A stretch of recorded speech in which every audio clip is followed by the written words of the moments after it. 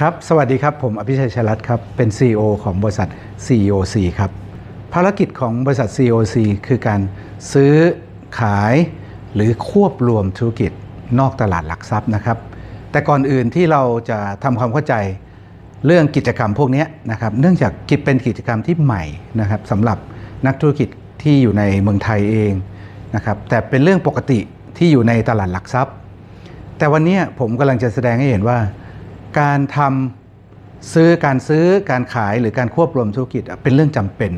ในสภาวะที่การเปลี่ยนแปลงทางด้านธุรกิจเนี่ยมันมีอัตราเร่งที่สูงมาก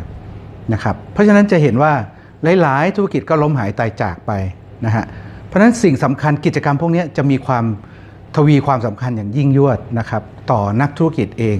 เพื่อจะได้เรียนรู้นะครับ ว่ากิจกรรมของการซื้อการขายหรือการควบรวมธุรกิจเนี่ยเราจะต้องทำตัวธุรกิจของเรายังไงบ้างนะครับเพื่อให้มีความพร้อมสำหรับการใช้โซลูชันดังกล่าวนะครับแต่ก่อนอื่นครับเรามาทำความเข้าใจกันก่อนว่าผลประโยชน์ของนักธุรกิจนะครับในฐานะที่เป็นนักธุรกิจเนี่ยนะครับมีผลประโยชน์อยู่ 3 ตัวหลักๆ ด้วยกัน ตัวแรกก็คือเป็นเรื่องของผลประโยชน์ทางด้านค่าแรงนะ ที่อาจจะอยู่ในรูปของเงินเดือนนะครับผลตอบแทนรายเดือนนะฮะที่เกิดจากการทำงานนะครับของนักธุรกิจเอง ตัวที่2นะครับก็คือเมื่ออสิ้นปีนะครับเราก็จะเห็นตัวเลขของการผลประกอบการนะครับยอดขายลบด้วยต้นทุนนะครับก็คือตัวกำไรนะฮะอีกตัวหนึ่งที่ผมเชื่อว่านักธุรกิจเนี่ยนะครับน้อยคนนะนะฮะที่จะเข้าใจ แล้วมักจะคิดว่ามันเป็นเฉพาะธุรกิจที่อยู่ในตลาดหลักทรัพย์ เช่น After You เช่น MK s u k i นะครับแต่ท่านทราบไหมครับว่าจริงๆอะมันมีอยู่ในตัวทุกธุรกิจนะครับ ที่เรามีวัตถุประสงค์ของการสร้าง นั่นคือมูลค่าธุรกิจนะครับ ทีเนี้ยนะฮะผมจะยกตัวอย่างให้ เช่นบริษัท MK s u k i นะครับ MK s u k i วันนี้กำไรนะครับ ปีละ 2,000 ล้าน แต่มูลค่าของ MK s u k i วันนี้คือ 76,000 ล้านนะครับ เพราะนั้นเรามักจะคิดว่าเฮ้ยมันไม่ใช่เราหรอกนะครับ MK4 ทำได้ แต่วันนี้ผมกำลังจะบอกว่า เราเองสามารถที่จะสร้างธุรกิจเพื่อการซื้อเพื่อการขายหรือควบรวมธุรกิจนะครับเพื่อเอามูลค่าสูงสุดของธุรกิจ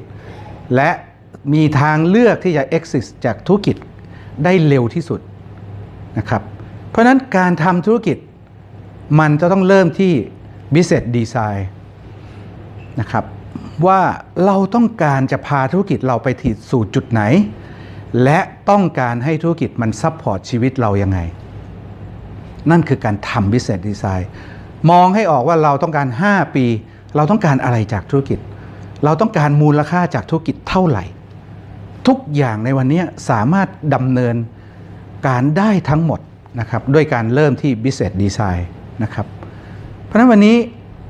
สิ่งที่บริษัท COC ทำวันนี้ก็คือ เราทำอยู่ 2 ฝั่งด้วยกัน ฝั่งแรกก็คือการพัฒนาและยกระดับของ CEO ด้วยการมีแผนกของการเทรนนิ่งนะครับซึ่งเรามีโปรแกรมหลักๆ ก็คือ CEO Business Coaching Program ซึ่งวันนี้ได้ดำเนินมาถึงรุ่นที่ 6 แล้ว มีนักธุรกิจที่ผ่านนะครับโปรแกรมนี้ไป 30 กว่าท่านนะครับทุกคนมีแนวคิดเดียวกัน ที่ต้องการผลักดันธุรกิจตัวเองไปสู่ IPO นะครับหรือการซื้อขายตลาดหลักทรัพย์ ในตลาดหลักทรัพย์นะครับ ซึ่งพวกเราได้เริ่มแล้วนะครับ ตัวที่ 2 อยู่ในฝั่งของ Management นะครับนะถ้าท่านเรียนแล้วแล้วท่านรู้สึกว่าไม่อยากเอาไปทำหรือใช้เวลามากในการทำเราก็ใช้บริการของ CEOC นะครับ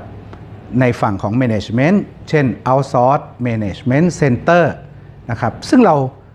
สามารถที่จะสนับสนุนในทุกๆแผนกนะครับด้วยพนักงานที่เป็นเอาซอร์สนะครับให้กับทุกท่านนะฮะเพราะนั้นวันนี้นะครับขอต้อนรับเข้าสู่โลกของการเดินทางสู่ IPO นะครับเพื่อให้ชีวิตตัวเองในการทำธุรกิจเข้าสู่มูลค่าสูงที่สุดของการทำธุรกิจนั่นก็คือ มูลค่าธุรกิจเหมือน 76,000 ล้านของ MK สุกี้นะครับ